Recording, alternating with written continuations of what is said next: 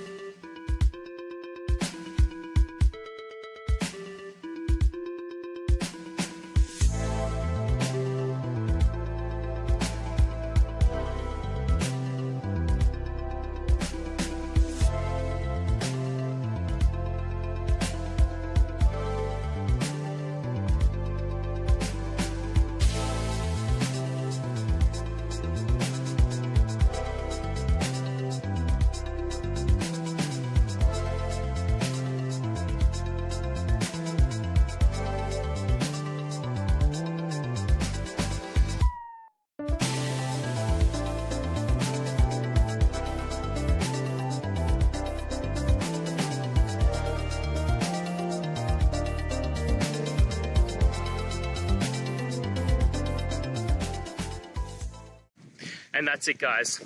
We've worked through, gone through your question, hopefully found that solution you're looking for. If we did, please hit subscribe. I really appreciate it. And until next time, you need technical help? I hope you have a good one. Cheers.